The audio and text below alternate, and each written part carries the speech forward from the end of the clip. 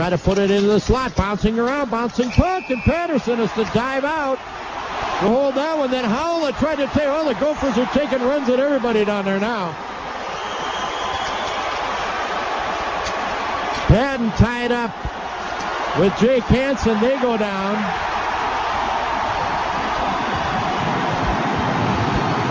Corbert's tied up with somebody. Sinkfield's in there.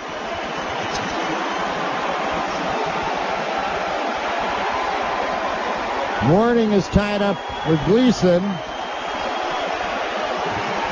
Patton wants to go with Hansen. Hansen won't drop the gloves. Doesn't Patton's figuring that he's finding out these guys will not drop their gloves. Under no circumstances will they ever. There's no sense asking because they won't let those mitts go. It's scoreless. We're back after.